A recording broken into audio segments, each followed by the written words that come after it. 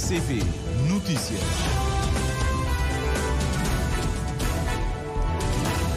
Três horas em Cabo Verde, muito boa tarde. Vamos dar início ao jornal para esta uh, quarta-feira. Abrir a conhecer os títulos.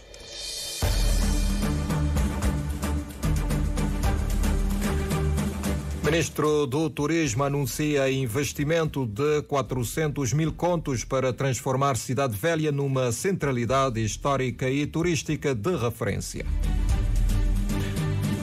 Ligação do atual presidente do INPS com o banco IIB levanta suspeitas de intransparências no processo de leilões de depósitos eh, promovidos pela Previdência Social, eh, diz coordenador da plataforma sindical Unir e Resgatar o NTCCS.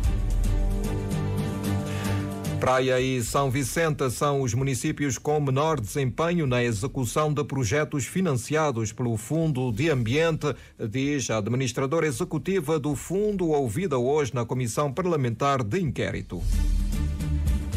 Bombeiros municipais de São Vicente estarão em greve de 9 a 14 de fevereiro e no dia 8 realizam manifestação silenciosa, anuncia Ciaxa. 30 investigadoras de vários cantos eh, do mundo participam na Conferência Internacional sobre Raça e Escravatura nos Impérios Coloniais Europeus, que decorre de hoje até sexta-feira na Praia. O presidente da Tunísia prolonga estado de emergência por mais um ano. Estas e outras notícias para conferir neste jornal, edição e apresentação é de Humberto Santos.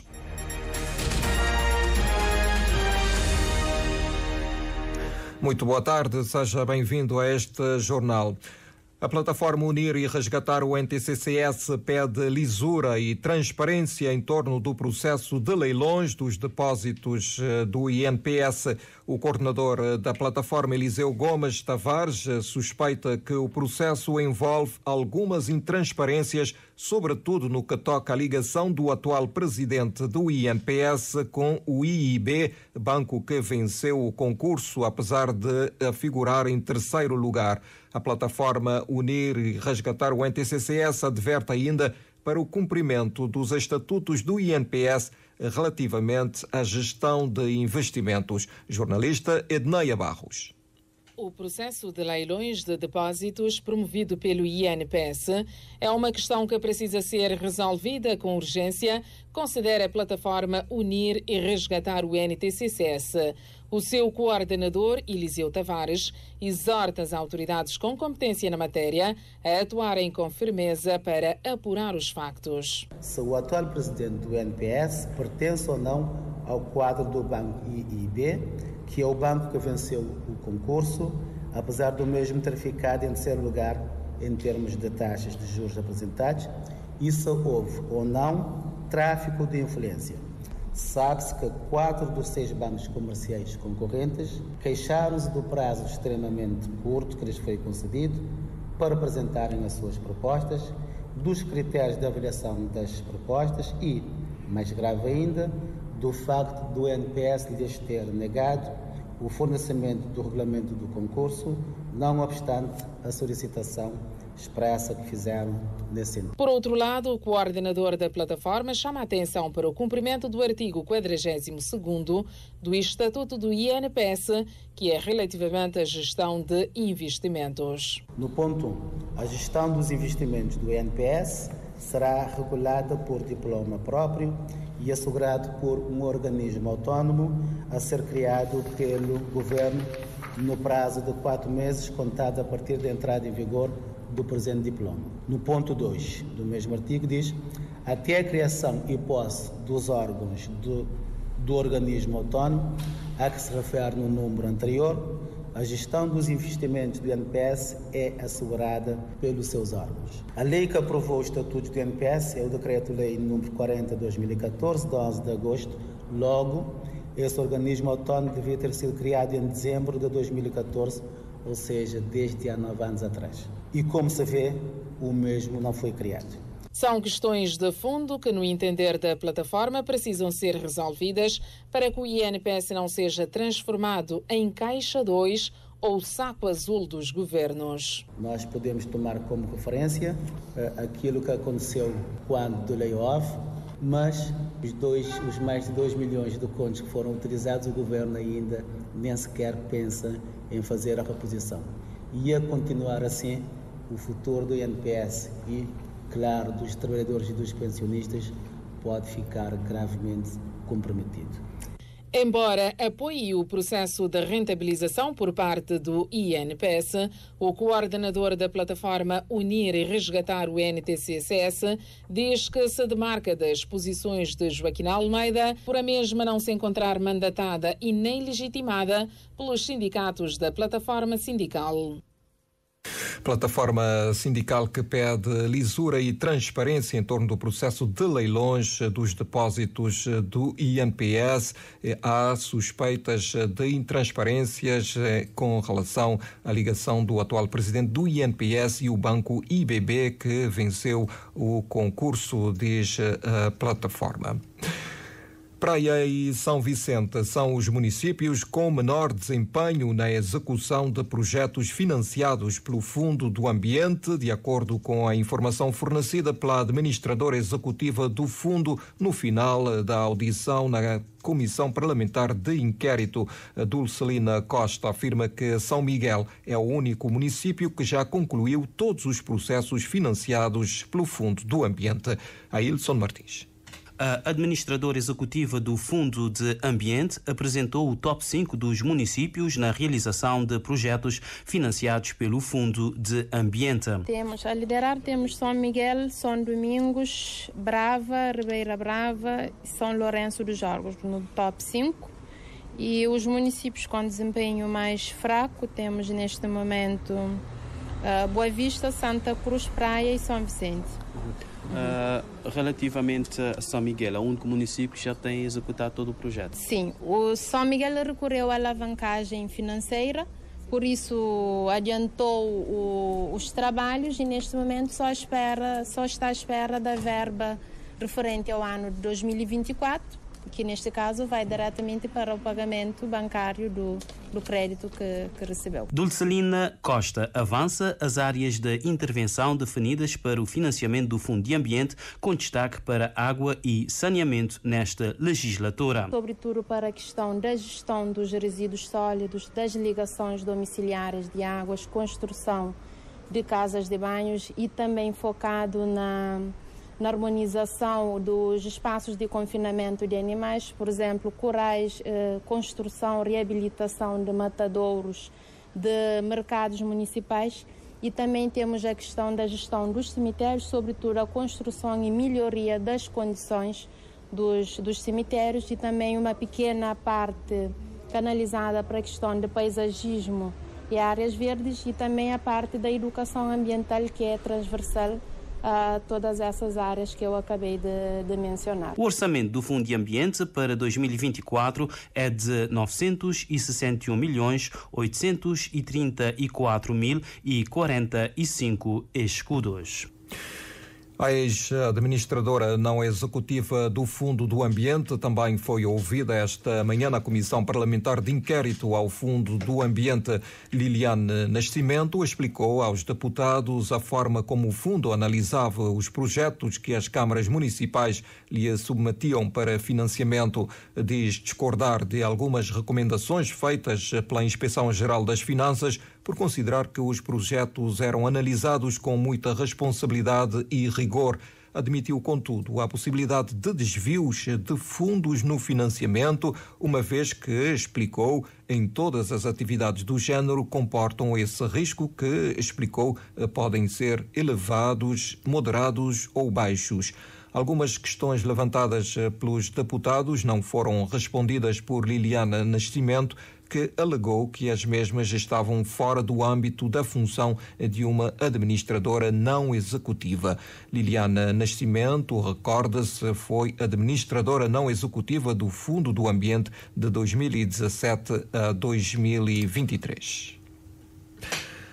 Os bombeiros municipais de São Vicente entram em greve de 9 a 14 de fevereiro e no dia 8 realizam uma manifestação silenciosa Em causa está o não cumprimento do acordo assinado entre o sindicato e a autarquia mindelense relativamente às pendências dos bombeiros municipais. O anúncio foi feito esta manhã pelo coordenador do SIACSA, Patrícia Martins.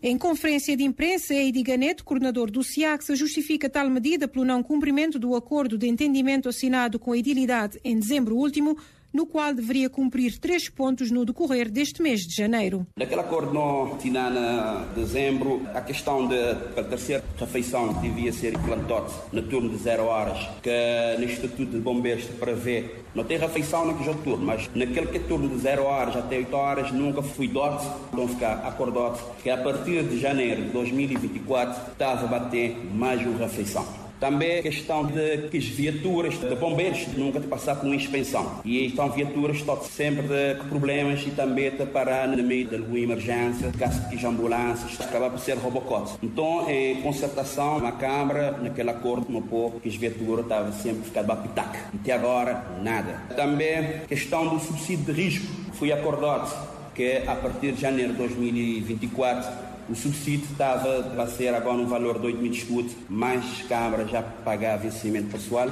já está que recebe em mão, Câmara continua a pagar naquele valor de 5 mil escudos. Eidiga Neto diz que até o momento não há nenhuma justificação por parte da Câmara Municipal pelo não cumprimento do acordo, por isso... Não nos restou, conjuntamente com os bombeiros municipais, outra alternativa, senão partir para mais uma manifestação silenciosa a ter lugar no dia 8 de fevereiro e com uma greve com início no dia 9 de fevereiro e termino no dia 14 de fevereiro.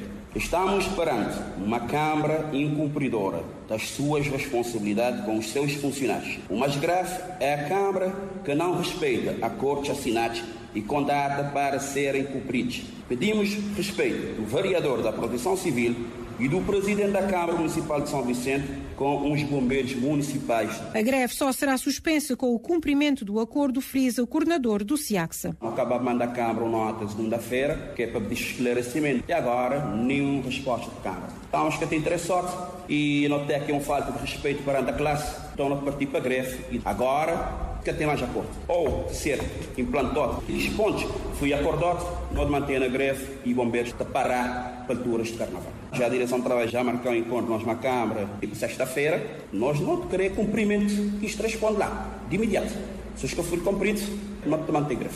A Ediga Neto fala ainda em desmotivação e de um mau ambiente de trabalho no quartel dos bombeiros. Eu não tive reunido na semana passada, o pessoal revoltado, desmotivado, por via de má vontade para a Câmara Municipal. Um mau ambiente de trabalho lá na Bombeiro, tanto pessoal como vereador, próprio como atual comando, ah, ah, e depois Câmara, e fina acordo que te cumprir. Então, relação de ambiente de trabalho lá no Bombeiros, que está bom, está bom de saúde e acho que a criancinha tem nota que só cinco efetivos. E depois, também tem pessoas lá sem nenhuma formação profunda. Antigamente, tem pessoas das são semana de aula lá na Bombeiro, pronto, já está pegando ambulâncias, está pegando corpo de combate a incêndio e pessoas ficam preparadas. É uma situação de bombeiros cada dia de complicar. SIACS anuncia manifestação para o dia 8 e greve de 9 a 14 de fevereiro dos bombeiros de São Vicente.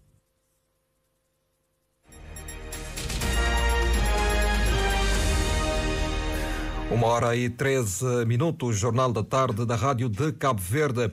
O ministro do Turismo acaba de anunciar uma verba de 400 mil contos para transformar Cidade Velha numa centralidade histórica e turística de referência. O anúncio foi feito na sessão solene comemorativa do Dia do município da Ribeira Grande de Santiago, que terminou a momentos, portanto, um pouco mais à frente neste jornal. Vamos desenvolver esta notícia. Falemos agora de desporto. África do Sul é a adversária de Cabo Verde Verde nos quartos de final do Campeonato Africano das Nações que decorre na Côte d'Ivoire. A seleção dos eh, Bafana Bafana venceu eh, Marrocos por 2 a 0 em partida eh, dos oitavos de final realizada ontem. O jogo entre Cabo Verde e África do Sul está agendado para o próximo sábado, 3 de fevereiro, no estádio Charles Konambani, em Yamoussoukro. O jornalista Moisés Zebra já conversou com o selecionador bubista a propósito desta disputa com a África do Sul e junta-se a nós em direto neste jornal. Muito boa tarde, Moisés. Muito boa tarde para ti, para o auditório da Rádio Pública. Eh, deixa-me dizer-te, em primeiro lugar, que a Seleção Nacional eh, deixou o seu quartel-general, eh, está rumando nesta altura, então, para a cidade onde vai fazer a partida com a Seleção da África do Sul. Passavam das 10 horas e 30 minutos quando a delegação deixou, então, o seu quartel-general em Abidjan. Estamos a falar do Hotel Azalai. Muita esperança na bagagem. Tivemos a oportunidade de abordar dois jogadores, Stopira e Bebé. Ambos afinam pelo mesmo diapasão, eh, que vai ser um jogo complicado, mas Cabo Verde tem as suas armas e, inclusive, a sublinharem que o futebol da África do Sul encaixa-se melhor eh, com o futebol da seleção de Cabo Verde. Hoje abordamos o técnico Buissa. Ele foi sublinhando que nesta altura não há seleções fáceis, mas garante que é um prazer jogar com a África do Sul, porque ele recorda Nelson Mandela, um homem que deu muito ao mundo. Vamos ouvir então, Bobista. Pessoalmente, fico um bocadinho contente, tendo em conta um país também que, um país Nelson Mandela, digamos assim, alguém que ensinou a gente a tratar tudo de gente, tudo pessoas uh, como deve ser toda gente igual nesse mundo aí que não estou ficar satisfeito por, por defrontar a África do Sul, não estou considero um país irmão também por, nesse sentido. Ah, para a boa pergunta, é para dizer que independentemente daquilo que era, que era adversário, eh, não está sempre a preparar para, para este jogo ali, acabar para ser um jogo bastante, bastante importante, bastante difícil, tendo em conta adversários que estão na, que estão na caminho, já que, tem, já que nunca teve adversário fácil. Nós não, não queremos pensar sempre na, na nós durante toda a caminhada, uh, independentemente daquilo que pedras não, não, não podem encontrar na caminho, não tem que pensar sempre no nosso caminho e procurar fazer nós, nós o melhor possível. Uh, procurar chegar naquilo que nós pretendemos sempre, que, que é mês final, é mais, um, mais uma etapa não quero fazer que, que responsabilidade, que espírito de, de união e que patriotismo. Palavras então do selecionador nacional Bobista, Bobista que falou hoje para a rádio de Cabo Verde. A seleção então, com mais uma etapa neste campeonato africano, vai jogar em Yama, vai jogar então em Yamoussoukro. Jogo importante a contar para os quartos da final, a turma cavardiana com esperanças na bagagem. Jogo que está marcado para o próximo sábado, às 20 horas locais, 19 horas em eh, Cabo Verde. A Rádio Pública, então, a acompanhar todos os passos da seleção nacional, que tem aspirações em chegar pelo menos às meias finais. Muito boa tarde. Muito boa tarde, agradecimentos a Moisés Zebra que vai fazer o relato deste jogo no sábado às 19 horas, Cabo Verde frente à África do Sul, um jogo que o Presidente da República, José Maria Neves, vai, eh, portanto, estar presente para apoiar a nossa seleção eh, neste jogo dos quartos de final. Antes, na sexta-feira, jogam Nigéria e Angola às 16 horas, um deles, se Cabo Verde ganhar a África do Sul será eh, o adversário de Cabo Verde nas eh, meias finais e depois, na sexta-feira, eh, também jogam República Democrática do Congo e Guiné-Conakry às 19 horas. E a Ilha do Sal será mais uma vez palco de dois grandes eventos dos uh, desportos náuticos de 15 a 25 de fevereiro. Ponta Preta e Kite Beach vão receber a quinta edição uh, do Cabo Verde Kitesurf World Cup e também, simultaneamente, a segunda edição do Inkfoil World Cup. O anúncio foi feito hoje pelo responsável da organização Nautic Sports Event, em que o jornalista Valdemar Almeida esteve presente e traz-nos os pormenores. Cabo Verde vai continuar a fazer história com a realização de mais uma etapa dos Mundiais de Kitesurf e Wingfoil. A importância da realização destas provas em Cabo Verde voltou a unir numa parceria a Nautic Sports Eventos e o Instituto Cabo Verde do Turismo para manter o país a crescer como destino turístico e palco de grandes eventos do desporto náutico, como nos avança a organização na pessoa do empresário e kitesurfer Joe Silva. Nos, nos, nos focos era melhorar, uh, porque não tem muita dois, dois arenas, digamos, não está muita uma arena na zona de Ponta Preta, onde é que o foco do campeonato, por causa das condições que onde te oferece gente e vende. É, e também um lugar onde é que te chama sempre teu show público, no teu moldura humana. Ano passado não tive teu, teu, gente, leva em conta, não podia, tinha cerca de 2.000, 2.500 pessoas por dia tu é campeonato. Então, entre estrangeiros e cabo-verdianos. A GQA já procedeu à análise por vídeo dos praticantes da seleção, dos melhores competidores que irão estar presentes nos spots da Ponta Preta e Kite Beach atleta está a mandar vídeo, está a ser selecionado através desses vídeos, passou para, para curta um bocadinho que ele trabalha, de maneira que ao Budes a Cabo Verde para dia de campeonato, botem que as 24 atletas selecionados para poder fazer aquele evento. Na nível masculino de Wing Mafoil, onde que tive a direção de gente de todo mundo, uh, inclusive já notei atletas internacionais dali, a meia de reunião, França, Brasil, uh, de Itália, de Espanha, já está tudo ali para bem, para bem competir, mas bem antecipadamente para bem treinar, para fazer esses pequenos treinos ali antes de campeonato.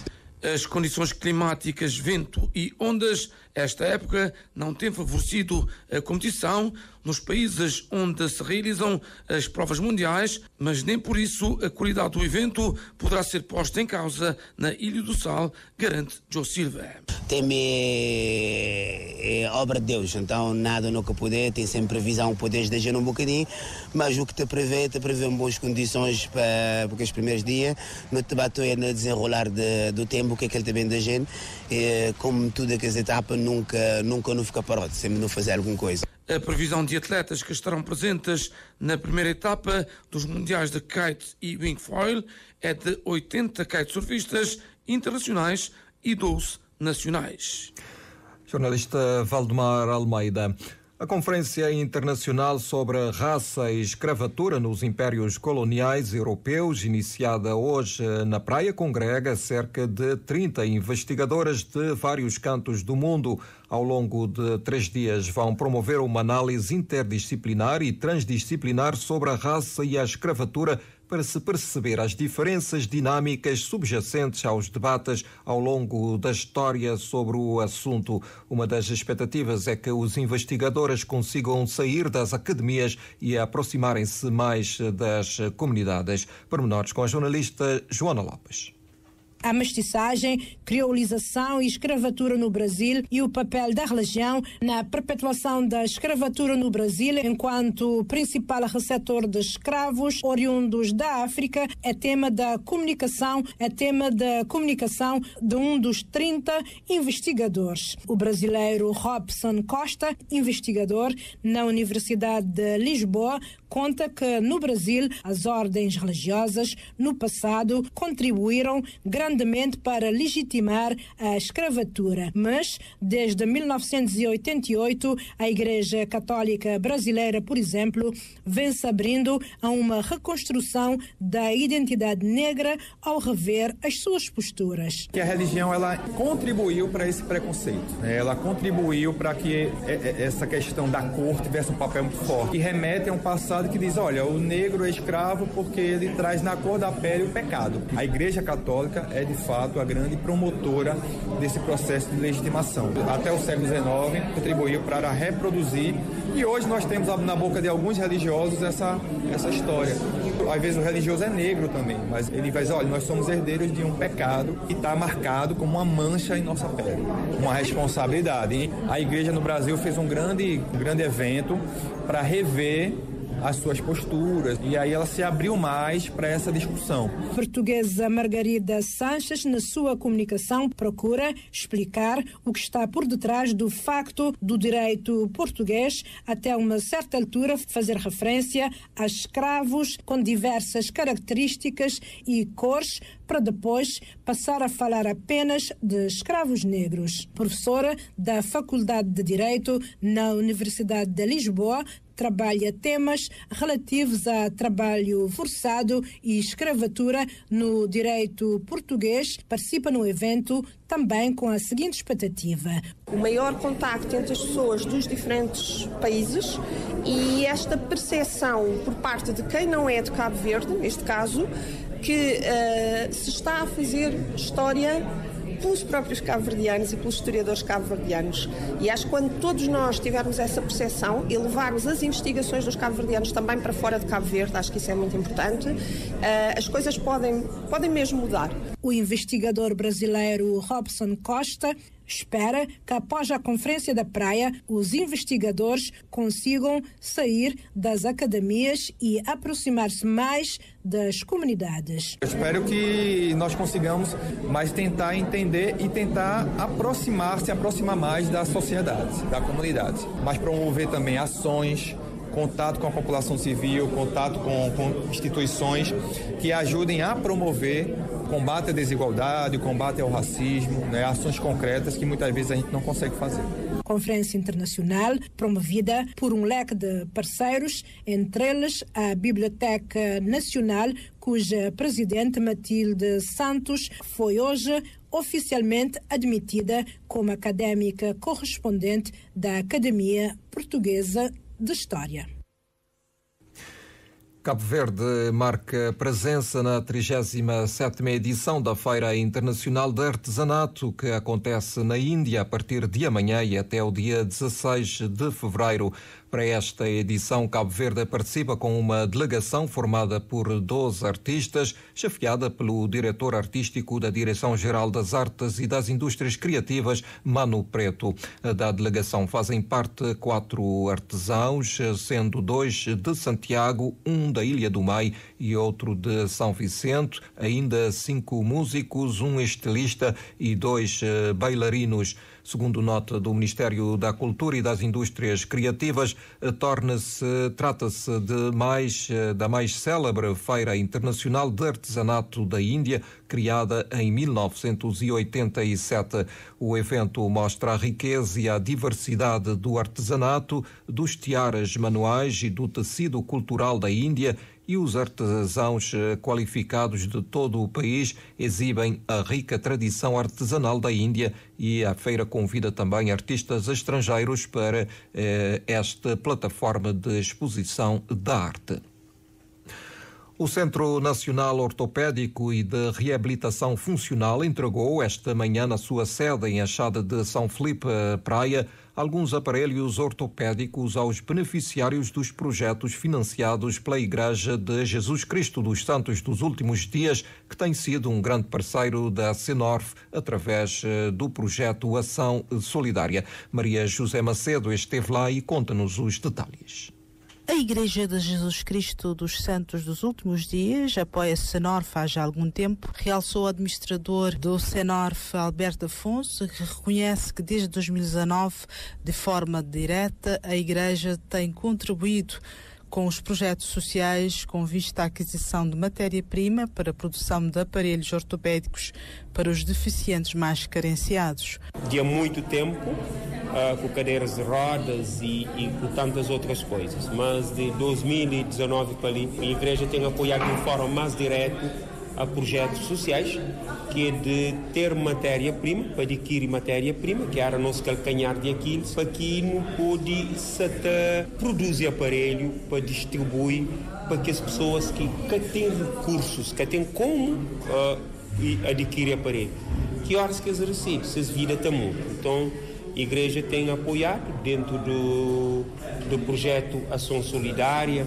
O representante da Igreja de Jesus Cristo dos Santos Últimos Dias, Elder Varela, manifestou a sua satisfação em poder apoiar Senorf nesta iniciativa. Sabe, para mais que ser feito é que é suficiente. Então a Igreja tem uma visão sempre de que tem aquela empatia, não está sempre ciente das necessidades que tem e não está sempre complementa aquilo que instituições outras também se cada pode fazer e a Igreja também como instituição tem sempre prazer de, de poder participar nesse tipo de, de apoio. Dois beneficiários falaram falaram para a RCV sobre a importância de terem sido agraciados com aparelhos ortopédicos pelo SNORF. Está bem Mas quando entraram em EPM, para a minha é acaba. A Morianga, estou conseguindo fazer que ele venha, mas graças a Deus. Então, hoje, eu agradeci a Deus, mas acaba ainda. Para morir tinda, ngata puri, vai para baixo, cupira para mais vender assim, manta bem. Mas tinda está fazendo a vida. Lá na casa, anda põe a cozinha, anda cata lá na casa. Sinofre também está fazendo um grande trabalho. É um trabalho espetacular que muita pessoa está sendo beneficiada, está ajudando muita gente. Um dia ter a sua vida melhor, né? Como acabou de dizer a senhora, uma vez falou a mesma coisa também. E nós aqui que somos beneficiários disso, só temos a agradecer pedir um obrigado a todos. Trata-se da terceira ação solidária da Senorf, apoiada pela Igreja dos Santos dos últimos dias aqui na cidade da Praia.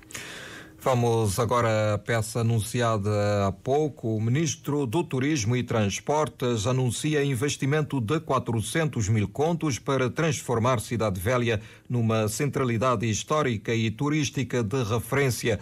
O anúncio foi feito na sessão solene comemorativa do Dia do Município da Ribeira Grande de Santiago. José António dos Reis.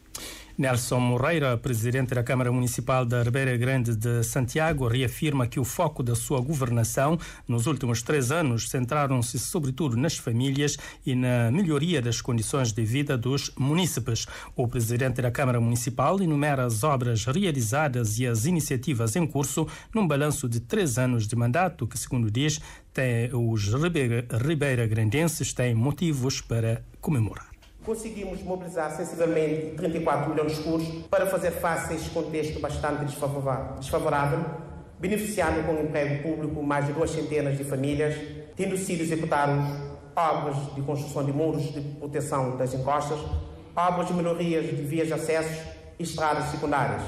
Por outro lado, as localidades de São João Batista e Santana viram as suas acessibilidades melhoradas, tendo sido investidos sensivelmente mais de 6 milhões de escuros.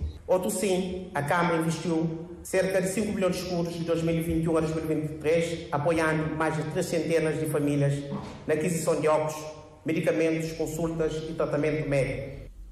O representante do Movimento para a Democracia na Assembleia Municipal da Ribeira Grande de Santiago, oposição, António Monteiro, considera que o município regrediu por falta de iniciativa da atual equipa camarária.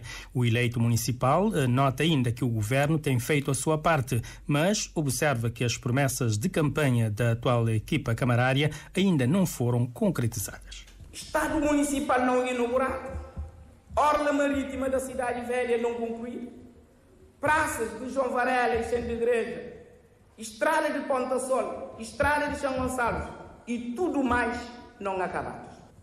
Onde é que estava o senhor Presidente da Câmara?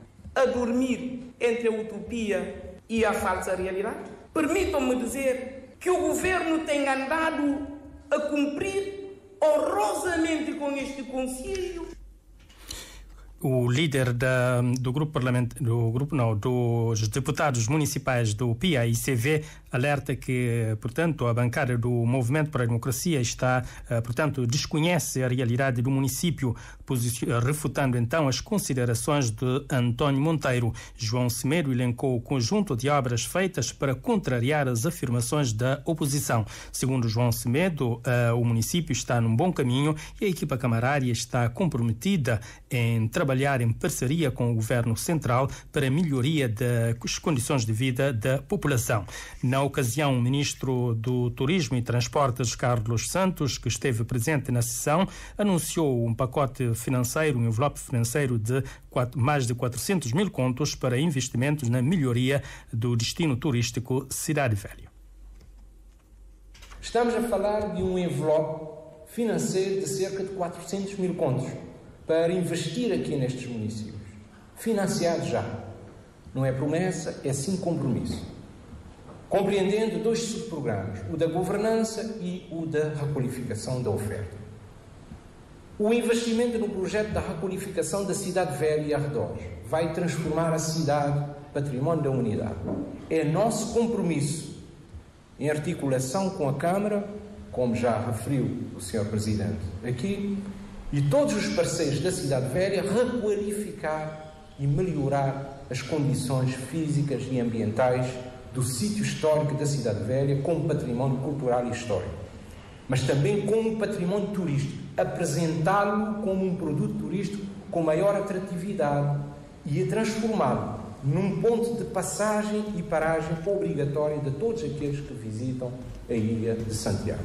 O governante, no entanto, alerta que é preciso a contribuição de todos para a melhoria da qualidade turística do município de Ribeira Grande de Santiago, sobretudo no sítio histórico.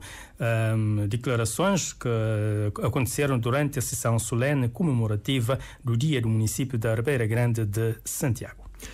E o Presidente da República, José Maria Neves, eh, junta-se às comemorações da Ribeira Grande de Santiago, desejando os maiores sucessos à idilidade e a todos os, os eh, municípios. Em carta endereçada ao Presidente da Câmara Municipal, Nelson Moreira, o chefe de Estado salienta alguns avanços que permitem o acesso das pessoas a mais serviços e infraestruturas sociais, obras de requalificação urbana, aumento de penetração de energias limpas, bem como a aposta no empreendedorismo, além de outras importantes medidas de política implementadas tanto pela edilidade como pelo governo. José Maria Neves diz esperar que outros projetos em carteira sejam materializados, dando aos munícipes melhores condições de acesso aos serviços de saúde e de mobilidade. A estrada de acesso a São João Batista e Pico Leão, por exemplo, é uma antiga reivindicação dos ribeira-grandenses que deve merecer a atenção das autoridades, salienta o chefe de Estado. Entre os desafios do município, o Presidente da República destaca a elevada taxa de incidência da pobreza, a precariedade do parque habitacional e o desemprego, que, segundo José Maria Neve, eh, portanto, são, estes problemas estão eh, agravados eh, pela seca prolongada e pela redução do poder de compra que afeta a população no seu todo. É de se regozijar com os esforços empreendidos pela idilidade no sentido de apoiar principalmente as camadas mais vulneráveis, mas há que acelerar o passo porque quem precisa tem pressa, escreve o Presidente da República. O mais alto magistrado da nação insta ainda o município a assumir um mais eh, forte protagonismo na dinâmica de crescimento, de geração de empregos e de rendimentos para as famílias no combate à pobreza e às desigualdades e na substancial, na substancial melhoria eh, da qualidade de vida das pessoas, apostando fortemente na competitividade da economia local e na coesão eh, territorial. José Maria Neves diz ainda que, enquanto champion da União Africana para a preservação Conservação do Património Natural e Cultural de África disponibiliza-se para trabalhar em parceria com a Câmara Municipal da Ribeira Grande de Santiago e com o Governo em prol da preservação do património natural e cultural da histórica cidade berço. E na atualidade internacional, o presidente da Tunísia decidiu prorrogar até 31 de dezembro o estado de emergência, medida em vigor após sucessivos ataques jihadistas em 2015 e que se mantém ininterruptamente desde então, segundo publicou hoje o Boletim Oficial do Estado. Ao chegar ao poder no final de 2019, Kay Sayed, professor universitário de Direito Constitucional, reconheceu que esta medida era anticonstitucional e prometeu limitá-la exclusivamente ao combate ao terrorismo, embora a tenha mantido até agora. O estado de emergência confere poderes excepcionais às forças de segurança, permitindo limitar a circulação da população ou proibir manifestações ou greves que possam levar à desordem sem autorização judicial prévia, razão pela qual as organizações de direitos humanos denunciam o seu caráter abusivo. E o ministro do Interior francês, Gérald Darmanin, excluiu para já a possibilidade de levantar à força os bloqueios impostos em várias estradas por agricultoras, uma vez que não são criminosos, mas sim pessoas que trabalham. Mesmo assim, Darmanin alertou os manifestantes de que existem certas linhas vermelhas. O ministro do Interior disse hoje ao canal France 2 que a manifestação é um direito constitucional e defendeu as negociações já em curso no sentido de um acordo depois de os agricultores terem intensificado a contestação nos últimos dias. 13 horas e 39 minutos. Eh, vamos recordar os títulos que fizeram esta edição. Ministro do Turismo anuncia investimento de 400 mil contos para transformar Cidade Velha numa centralidade histórica e turística de referência. Ligação do atual presidente do INPS com o banco IBB levanta suspeitas de transferências no processo de leilões dos depósitos eh, do INPS, diz coordenador da plataforma sindical Unir e Resgatar o NTCCS. Praia e São Vicente são os municípios com menor desempenho na execução de projetos financiados pelo Fundo do Ambiente, diz a administradora executiva do fundo, ouvida hoje na Comissão Parlamentar de Inquérito. Bombeiros municipais de São Vicente estarão em greve de 9 a 14 de fevereiro e no dia 8 realizam manifestação silenciosa, anunciou esta manhã o sindicato SIAXA. 30 investigadoras eh, de vários cantos do mundo participam na Conferência Internacional sobre a Raça e Escravatura nos Impérios Coloniais Europeus que decorreu, eh, que decorre de hoje até sexta-feira na cidade da Praia. Presidente da Tunísia prolonga estado de emergência por mais um ano. Humberto Santos na edição e apresentação deste jornal, na técnica da Brito e apoio realização esteve Jamila Carvalho. Temos os títulos às 14 com a Joana Lopes.